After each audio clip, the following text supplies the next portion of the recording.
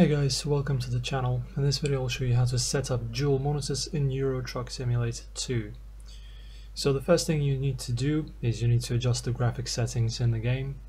So basically what we do is we go to options, then we go to the graphical settings, this first tab, and basically in here, once you already have your dual monitor set up, you basically need to search for a setting resolution and you need to basically set the combined monitor resolution.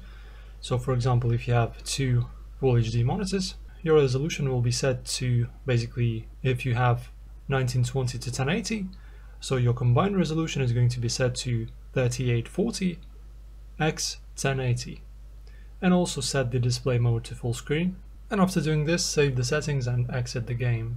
Alright, after that navigate to your documents folder, find Euro Truck Simulator folder, after that find and open a config.cfg file, so this one, so open it with a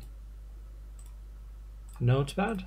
And now in here press Ctrl F and search for Multimon, search for Multimon mode and set it to 2 like that. After that just exit out and press save and after doing this you're basically done. The last step is going to be just testing and adjusting. So launch the game again to see how it looks on both monitors. You might need to adjust in-game settings or further tweak the config file to get the desired look and feel. And now you should have a dual monitor setup for Euro Truck Simulator 2.